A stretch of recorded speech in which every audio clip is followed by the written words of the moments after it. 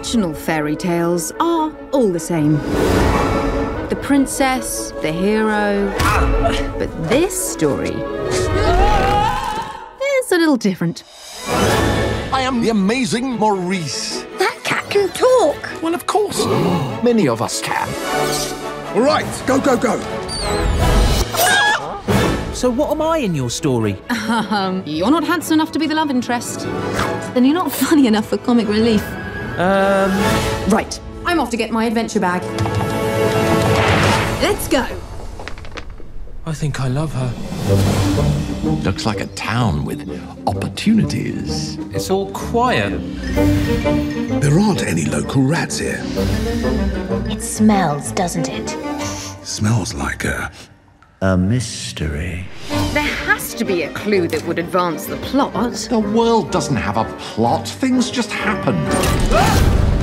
Are you all right? Yeah, I'm all right because I landed on my head. You won't believe what we found. It's a deadly evil. Ominous. Don't worry, a cat always lands on its feet. Ah, Amazing, Maurice. You have to fight it!